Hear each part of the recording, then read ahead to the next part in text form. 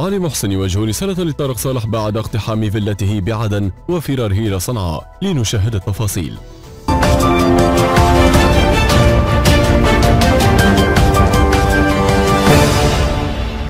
تصدر طارق صالح قائد الفصائل الموالية للإمارات في الساحل الغربي لليمن. المشهد جنوبا بعد محاولة استحضار عمه في عدن على حساب الفصائل المنادية بالانفصال. وكشف سيف الحضر مستشار محسن الأعلامي ورئيس تحرير صحيفة أخبار اليوم الصادرة من مأرب عن اقتحام مسلح الانتقال لفيلة يتخذها طارق صالح كسكن له في عدن بعد رفع أفراد حراسته لعلم اليمن مشيرا إلى قيام عناصر الانتقال بتمزيق العلم وتهديد الحراسة قبل أن تتدخل وساطة من الزبيدي والعليمي لتهدئة الوضع. وحاول الحاضر الشماتة بطارق عبر التقليد من هول الهجوم على عضو في أعلى سلطة موالية للتحالف. وفي وقت لاحق من الحادثة حاول طارق صالح تهدئة الفصائل الجنوبية بتغريدة مستعجلة قال فيها بأن الاحتفال بالوحدة يتمثل باستعادة ما وصفها بالعاصمة. على الرغم من شن طاقمه الإعلامي حملة على الانتقال وطالب رئيس المجلس الرئاسي بقرارات مستعجلة لإنهاء سيطرة فصائل الانتقال على عدن. وهذه المرة الأولى التي تحمس فيها طارق بشأن شأن الوحدة منذ إعادة تشكيل فصائله في عام 2018 وسلوكه خط الانفصال في خطاباته وهو ما يشير